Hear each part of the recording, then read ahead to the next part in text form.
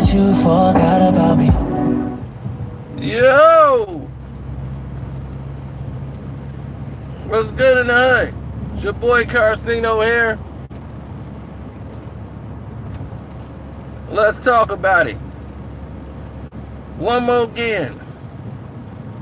The JYD. Get the juking, baby. The junkyard dog. The J Dizzle.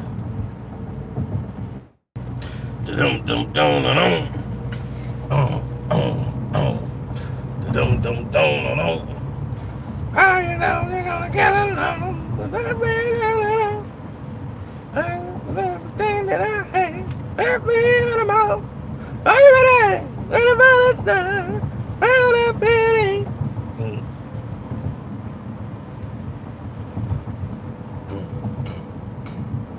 I know I'm back. But I wanna hit you back to say,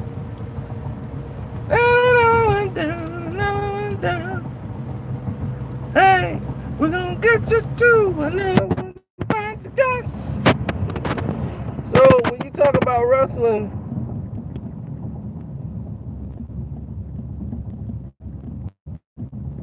I don't know what's going on, man. They just I don't I really don't understand the channel, man, or none of the stuff they be trying to do, man, for real. Now they back with the screw the scoop the Scooby Doo screw up thing here they run it.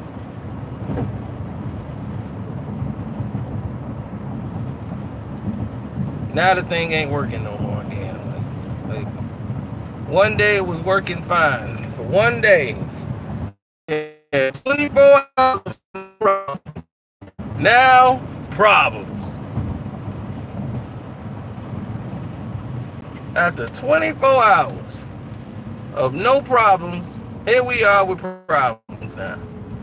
Zero notifications, just issue after issue after issue.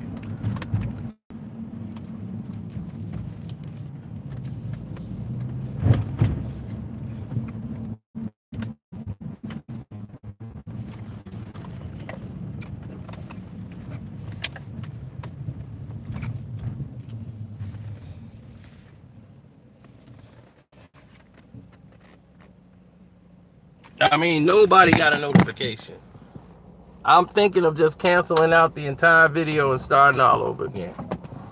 I mean, that's how I, I'm almost at that point, but I guess it's probably kicking in now.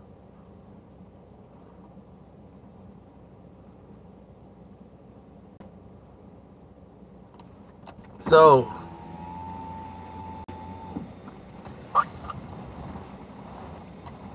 I'm at the bank. See, you guys are familiar with people taking money out the bank. I put money in the bank. I don't need all that cash on me.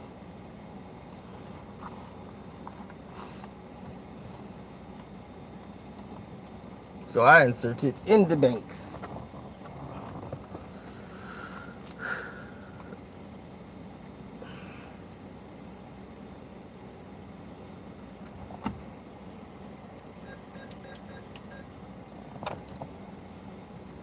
Seven seven seven nine.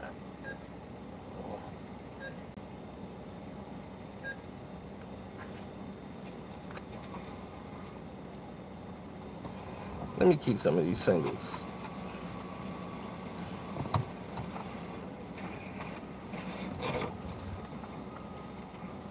Yeah, let me keep this. I like to keep singles on me. The toes and all that. But everything else can go on the bank. I don't really need it.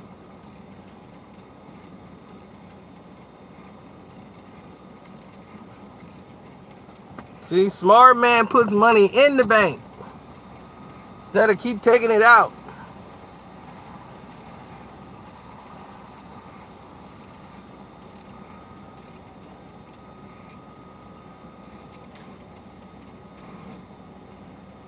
Now, let's get to the JYD. The junkyard dog. I ain't know I put that much in there. Geez.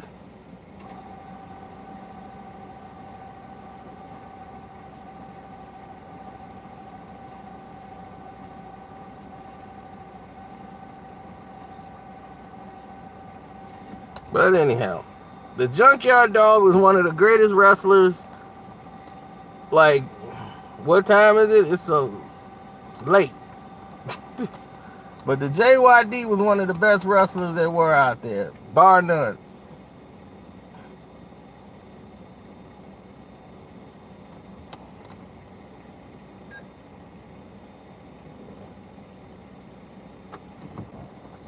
Thank you. But they had to make sure the money was real. Came from me, fool.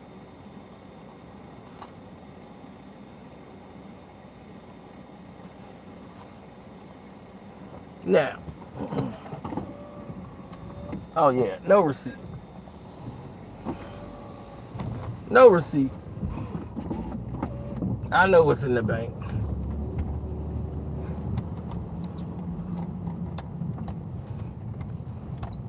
Now, let's get to it. The JYD, the Junkyard Dog. See, what people didn't know about JYD is JYD was gifted. He was greatly known for his power, his performance. He could lift wrestlers up with ease. Wouldn't hurt nobody. He was sharp, athletic back in the day when he first started. But dog had problems. Dog had dog like to get down.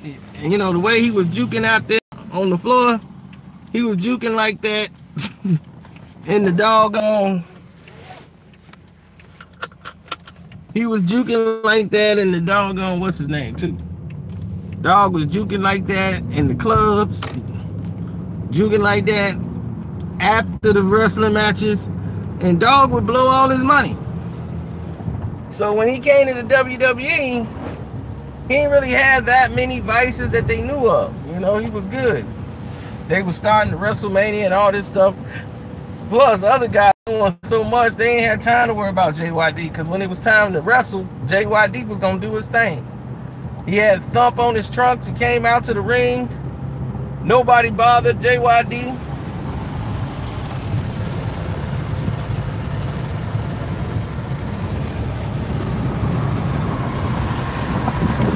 He was a fan favorite. Uh-oh.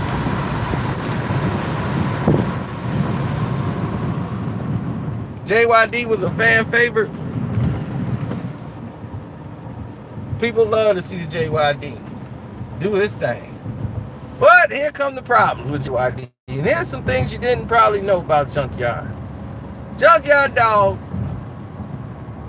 went ahead and did some things that shocked a lot of people. After the wrestling match, Dog went and got drunk. He still had his wrestling trunks on. Dog, dog was in the corner of the doggone restroom at one of the bars he was in, and he had peed on himself. And I believe one of the other wrestlers helped escort Dog home because Dog had a couple of buddies he hung out with. I think he hung out with Teddy Atlas, uh, Brutus the Barber Beefcake, and some other guys. I think he really he really got down and dirty with. So Dog was known to do some crazy stuff. And he'd normally try to get Tony Atlas to hang with him. Come on, Tony, let's go out, me and you. But Dog had a problem with them drugs, man. Them drugs, they started to wear and tear on him. And This is all right. No, JYD's all right. I mean, everybody does a little thing on the side, but he's the ultimate professional. And Vince saw the numbers he was bringing in.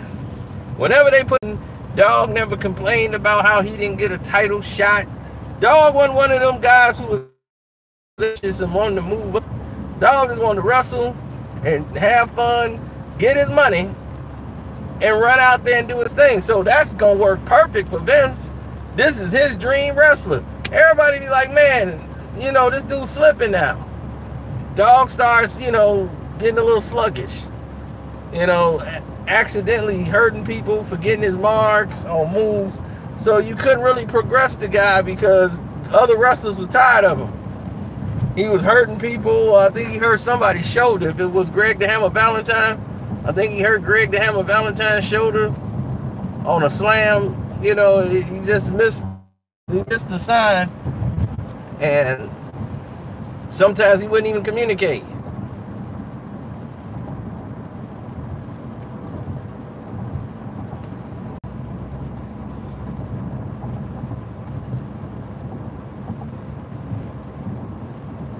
So dog be dog was so drunk at one house card. I mean, he didn't do any moves. He just acted like a dog the whole time.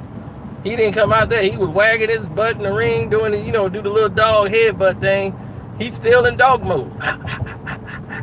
Rolling on the back. he just did that for about 10 minutes straight. for like the whole match. They trying to say, okay, you gotta get up now. He roll over on his back and the crowd would go crazy for Junkyard Dog. That's what making it more wild is that everybody was loving it. They didn't know why people, I mean, wrestlers didn't know why this guy could just show up and show out. And when this dude was messed up at his most, they said, we got to make a song for the JYD because the Queen, they were going to have to pay out the nose all these songs. And Vince wasn't finna pay for all these records no more. They used to play Eye the Tiger, tan, tan, tan. That used to be Hulk Hogan song, Eye the Tiger, and all these other songs that they used to play from bands. And then they, they launched the thing where you gotta pay the bands all this music. You know, you got to get copywritten. So Vince was ticked. So Vince decided to make his and create his own music. And they went in there in the studio and came out with their own publishing company and made their own records. So now all the wrestlers have their own interest music. And that was the best genius idea Vince and team came up with.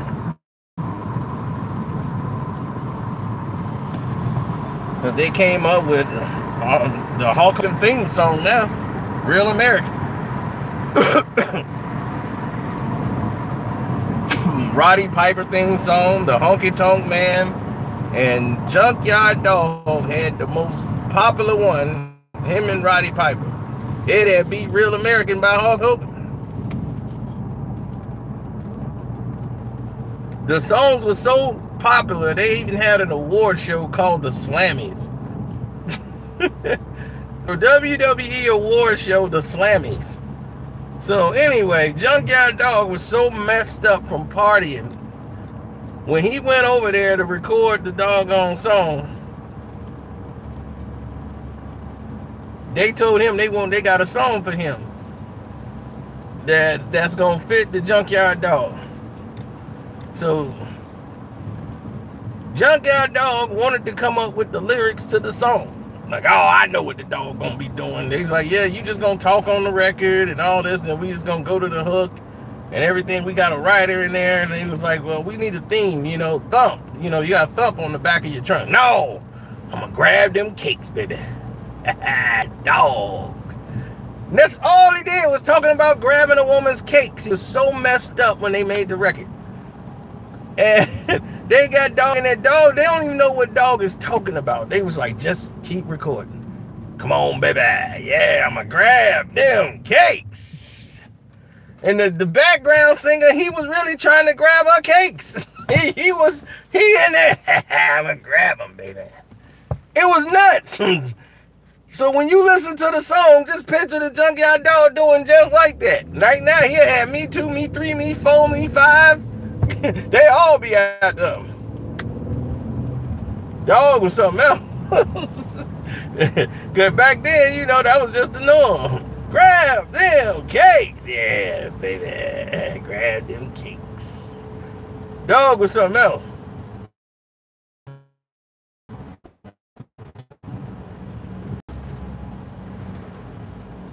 So after grab them cakes went by, came and went, there was another huge problem that ensued. Once grab them cakes came and went through, they like, all right, grab them cakes. What a success.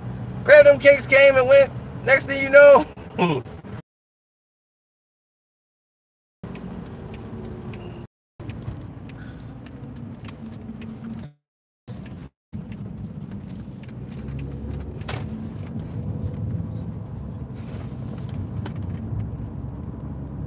Junkyard Dog song became such a massive smash, they had to keep putting him in the ring. And with the late great Harley Race, Harley Race pulled off a great WrestleMania 3 with him and what they had to wrestle for the crown.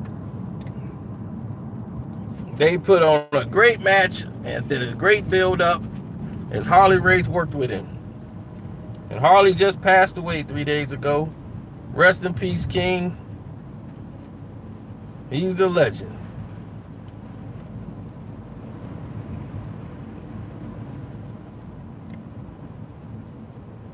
Now the situation's got a little crazy for Dog because Dog, once he get his check and his money, he party hard.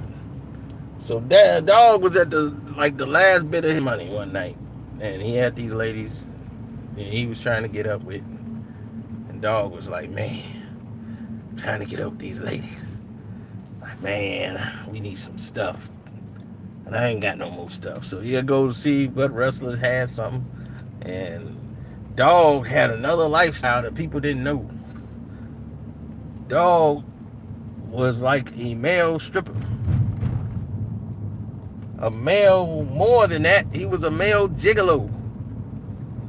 The JYD had a side hustle of being a male gigolo. He had a girl named Bernadette in one scene. Bernadette, she come on over. He would get the fans and they would pay money. You know how fans would pay money for autographs? Fans would pay money to sleep with him too. He had old white women, he had black women, he had them all. They all wanted a piece of the dog. And the dog was there to oblige. JYD was there to butt.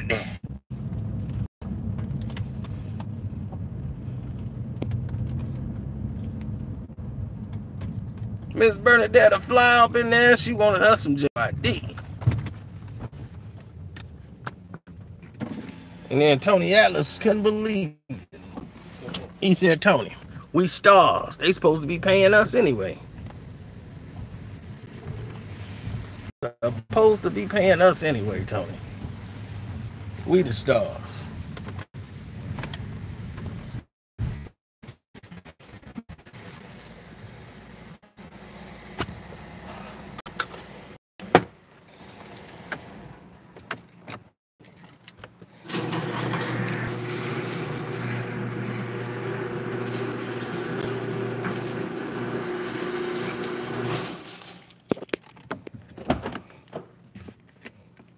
It ain't fixed for you?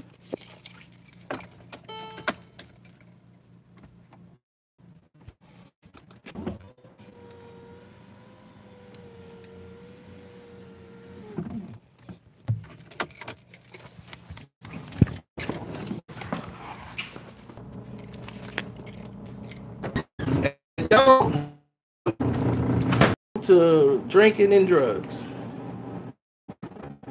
That was his drinking and drugs, man. And whenever he low, he go call up dad.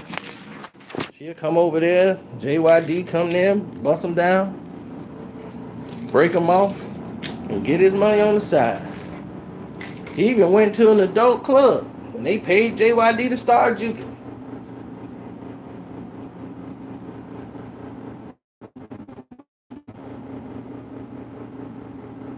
JYD had it rough, man. But he had such an easy road. His road didn't have to be rough at all because JYD, his road didn't have to be rough because JYD was taken care of. Anytime he wanted an advance, he was just living off advances. Vince would give him an advance. Oh, oh yeah, yeah, yeah. For JYD, yeah, yeah. Give him what he wants. But it, it hindered his career in his life to the point where he they, they hurt him, but they had to let they had to let him go. Junkyard Dog just couldn't perform no more. So that's when he started like getting serious again. Like, I gotta start working out. The dog wasn't working out, he was just getting big. The belly was getting fatter and fatter. So then he went over to WCW and came on over there. And the dog came in and started fighting the run. He was back. Oh, need a bone to Jones, and I found myself a home. So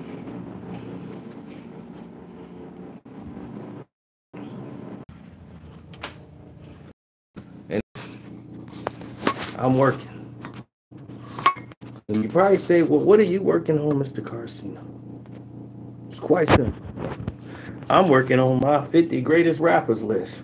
After watching that atrocious list yesterday, I stopped everything I was doing and I said, this is going to become my doggone motivation. I'm not doing anything other than I have got to finish this list first before I move forward. You understand what I'm telling you?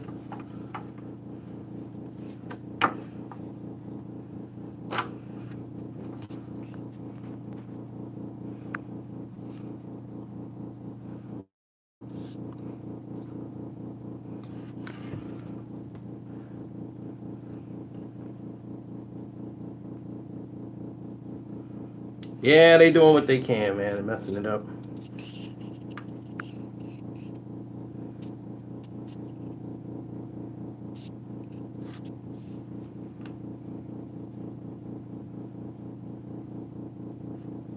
But we'll get there. Don't worry about it. I got you. Sino won't let you down.